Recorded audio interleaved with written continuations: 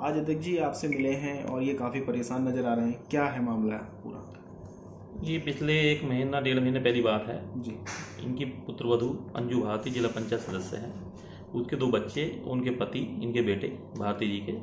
उन्हें एक पूर्व ब्लॉक प्रमुख हैं जो हैं तो बहुजन समाज पार्टी में लेकिन समाजवादी पार्टी से अब भी मिले हुए हैं।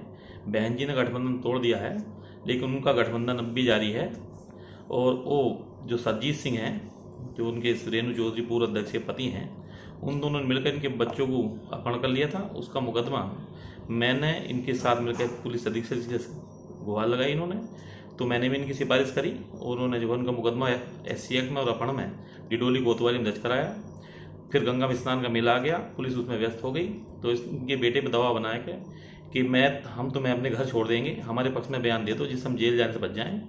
और उन्होंने पुलिस अधीक्षक महोदय के सामने और एस जो इसका जाँच कर रहे थे इसकी केस की उनके सामने इनके बयान करवाए और फिर दोबारा छोड़ने की बजाय उन्हें फिर वहाँ से अमरोहा से इसी कहीं अज्ञात स्थान पर ले गए और ये बेचारे परेशान हैं। ये दोबारा मेरे पास आए हैं कि डेढ़ महीना हो गया है ना छोटे छोटे बच्चे दो बच्चे हैं और इनका बेटा है इनकी पुत्र वधु है जो जिला पंचायत सदस्य है। दो माह से इनके घर पर नहीं है ये परेशान है। अच्छा जैसे कि आपको ये पूरा सपोर्ट कर रहे हैं और इनके बच्चे अभी तक इनके पास नहीं आए। आगे आपकी क्या कार्रवाई रही? आगे आपका क्या कदम रहेगा ऐसा जो? इनके बच्चे इन तक पहुँचे। आज मैं फिर जिला स्तरीय अधिकारियों से इनकी मुलाकात कराऊँगा।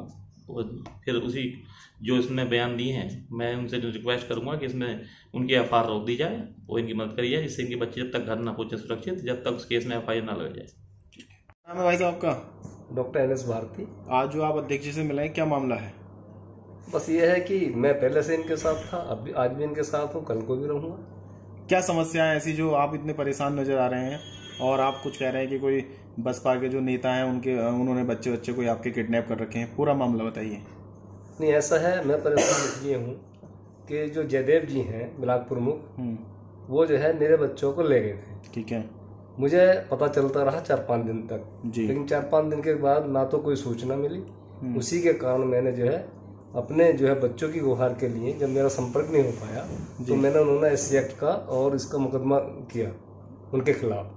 या तो मेरे बच्चों को पहुँचा दो नहीं मैं आपके खिलाफ कर दूँगा। जी जी। जब नहीं बच्चे आए तो मैंने उनके खिलाफ कर दिया। जी। अब जो है मैं इतना परेशान हूँ कि ना मेरी पोती पोता और जो मेरी पुत्र बधु है जिला पंचायत सदस्य संजू भारती मेरा बेटा है प्रमोद वो मुझे नहीं मिल पा रहे हैं। और उनके फिर बाद में उनके दबाव में आकर उन्होंने उसके बयान करवा दिए अपने पक्ष में। और मुझको जो है ये चकमा दे दिया कि हम आपको उनके पास फिर बाद में बयान करा के छोड़ देंगे। लेकिन बयान करा के वो मुझसे बात भी नहीं हो पाई और जहाँ पता ना अज्ञात स्थान पर ले गए मैं इस बात से बहुत दुखी और परेशान हूँ। आपने इस मामले से कल पुलिस से नहीं की? नहीं नहीं पुलिस से पहले मैंने बीच में शिकायत की थी। अध्यक्ष महोदय जी से मिलकर मैंने पुलिस अधीक्षक जी से मिलकर बीच में गुहार की थी कि मेरे बच्चे अभी नहीं आए लेकिन उन्होंने आश्वासन दिया आ जाएँगे। कितनी तारीख में अपहरण हुआ था? अपहरण तो ये सोलह तारीख में हुआ था। चौदह में।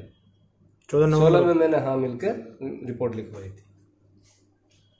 ऐसी क्या वजह है जो वो अपहरण करके उन आपके बच्चों को रख रखा है? उन्होंने क्या चाह रहे हैं? वो आपने उनसे बात नहीं हुई आपकी? नहीं नहीं वो तो मैटर चल ही रहा है जिला पंचायत का अविश्वास प्रस्ताव का। अच्छा। मैंने तो उनसे मना भी किया था एक साल रह गया अध्यक्ष जी बहुत बढ़िया आदमी है बेचारे अब क्या वो तुम करोगे? उसी के संदर्भ में जो बच्चों को ये ले गए उठा के बेला फसला के। ठीक।